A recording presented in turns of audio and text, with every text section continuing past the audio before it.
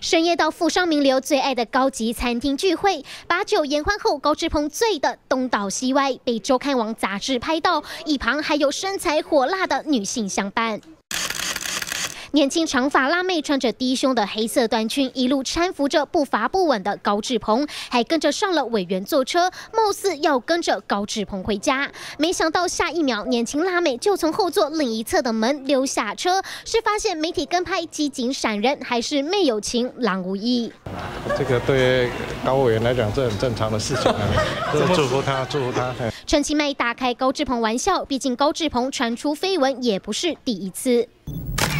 被拍到和李婉玉深夜密会，尽管后来被曝分手，高志鹏从没坦诚这段恋情，但单身的他身旁从来不缺女伴。高委员